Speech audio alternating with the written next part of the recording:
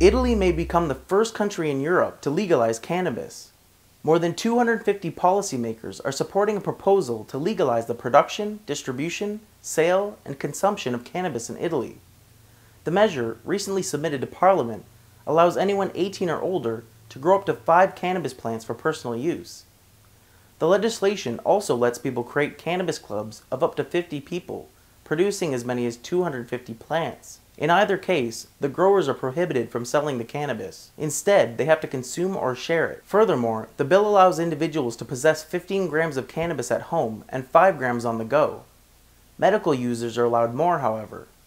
Under this legislation, smoking in public, advertising, exporting, and importing all remain illegal, but would not be punished with criminal charges. Finally, the proposal would allow the government to issue licenses to produce and sell cannabis at dedicated dispensaries. The legislation is currently backed by more than 250 of Italy's 945 members of parliament, with supporters from across the political spectrum.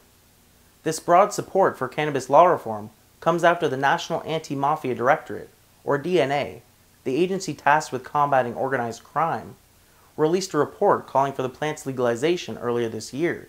Additionally, a recent Ipsos poll found that a large majority of Italians, about 77%, want to legalize cannabis.